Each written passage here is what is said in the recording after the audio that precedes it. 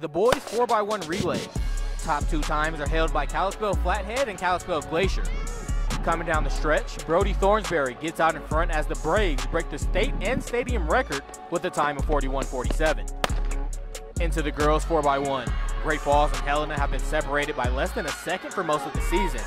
They were tight coming into the last 50 meters, but the Bengals took the title, clocking 48.04. The boys long jump. Bison Scott Klinker set a new PR at 24 feet 5 and a half inches, winning the title by over a foot.